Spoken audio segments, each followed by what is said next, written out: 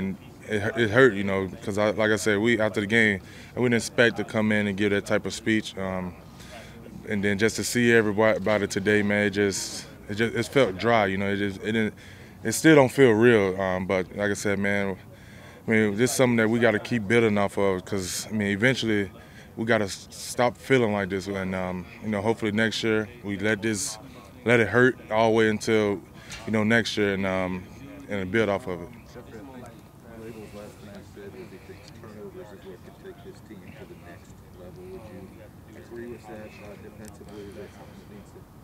Yeah, I said after the game. I said um, even with just up front, you know, we got to the quarterback nine times, um, but it wasn't no strip sack. So I think just by um, being able to get the ball out of um, the offense hand, it would it'll help us not just on defense but offense, putting them in great field position. Um, so I think that's some, one of the things that we have to keep preaching and um, putting into our game. And then I think, like you, like Vrave said, I mean, it will make this defense go to another level because that's something we did lack at.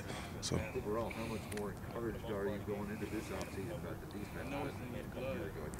Uh, I'm very encouraged. I mean, because like I said, we from last year up to this year, we took a big step, and um, I think especially with on third down, and now um, the next step is creating turnovers and trying to get the ball. So I think once we get and be able to create them type of turnovers, um, that's just put our defense, um, you know, um, in the I guess top. I mean, number one because, like I said, we finished number two in run defense. You know, we we was up there with the most sacks in the league. The thing was turnover, so I think that's just our main focus, especially going into camp and um, you know we'll let it, we'll let this we'll build off this. So you guys have been the find a way team. How much did it suck to kind of lose to the team that found found a way while you were sacking them nine times?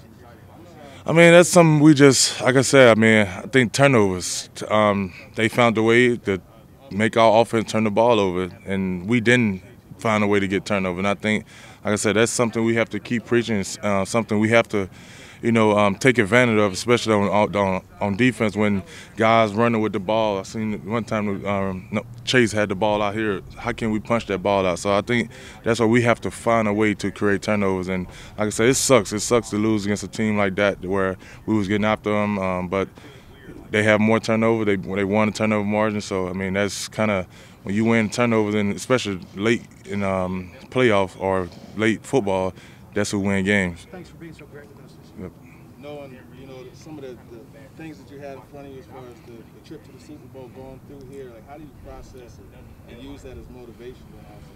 I mean, you got to use it as motivation. I mean, we know how far we came as a team. Um, me personally, I know how far I grew as a player, and I, I know for a fact I have so much room to improve. Um, I know that this off season I'm gonna work my tail off to, you know, even be better this upcoming season next year. So I think that's just where you have to um, put it in our mind that you know we're gonna come back and not have this feeling again because like I said this feeling sucks. I said I, I really felt it coming in this morning, um, driving in for the extra physical. Just man, like we supposed to be getting ready to play the Chiefs right now, and you know that just, that feeling hit me as I was coming in. I was just you know like man, this don't even feel real. So I think that, that right there just kind of motivate me as personally that you know I hate this feeling, and I'm gonna do whatever I can as a leader, as a captain on this team, to get us past this point uh, next year. You mentioned your progression as a player. I remember speaking to you in, in July. You wanted to impact the quarterback more.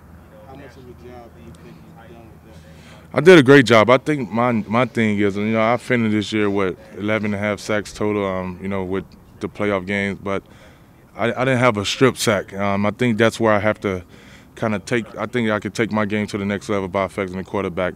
Because, um, like I said, when you, when you look at it around the league, the quarterback fumbling the ball the most, and uh, we get into the quarterback so much. I, you know, I'm affecting the quarterback, but how can we get the ball out of his hands so we could help change the game? And I think that's where I have to kind of focus on, you know, not all about just, you know, getting the quarterback to the ground, but also trying to get the ball out of his hands. How much did, did Denico's arrival kind of make the perfect complement to your game because you guys seem to just wreak havoc there on the inside beside each other. Yeah, man, it's, it's always great playing against a guy like Nico, man. You who, a guy with knowledge, a guy who um, have that mindset, that a dominant mindset.